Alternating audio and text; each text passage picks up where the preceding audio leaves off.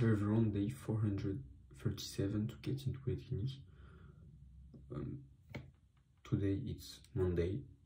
Uh, I feel empty. Like, mean, yeah, I feel empty. That's uh, that's kind of a, strange feeling. Anyway, so uh, during the morning, two hours of driving lessons, then um, one hour and a half of work, so one hour of engineering science, and then 30 minutes of French. Then uh, 30 minutes to like no 40 minutes um, uh, to eat and 20 minutes of reading the mythes de Platonicien.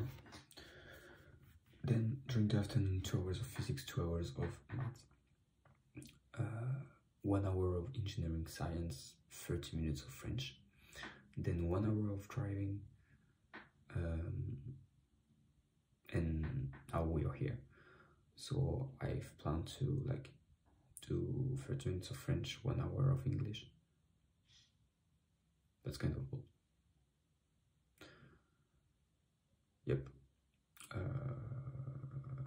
I, I think that's um, tiredness.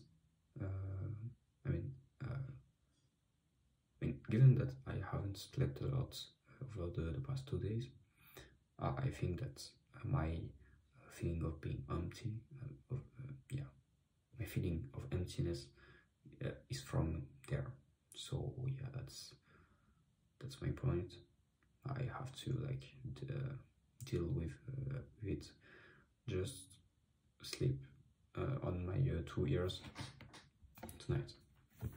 That's all. it was on day 437 to get into Polytechnique. Take care. Ciao.